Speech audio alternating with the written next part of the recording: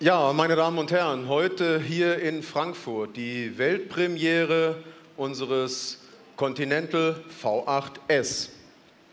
Mit dem V8S haben wir unser Erfolgsmodell, den Continental V8, nochmals deutlich geschärft.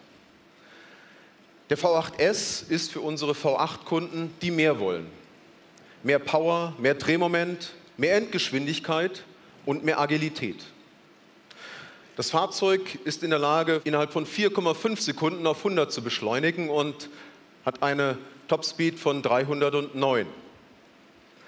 Der aufgeladene V8-Motor liefert 528 PS und 680 Newtonmeter Drehmoment bereits bei 1700 Umdrehungen pro Minute.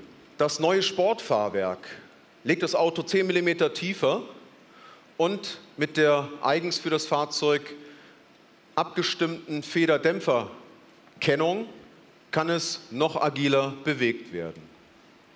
Das Exterieur des Fahrzeugs wird bestimmt durch schwarze Anbauteile, markante schwarze Anbauteile, den Frontsplitter, die, den Seitenschweller und den Heckdiffusor, aber auch durch das neue Rad, was Sie hier sehen.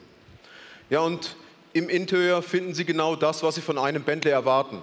Sie finden perfekt verarbeitete, edle Materialien. Allerdings hier in einem komplett neuen Farbsplit.